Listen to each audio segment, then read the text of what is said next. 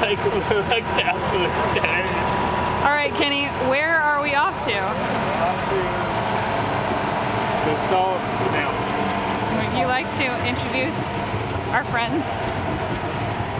Hey. These are a new family in Taiwan.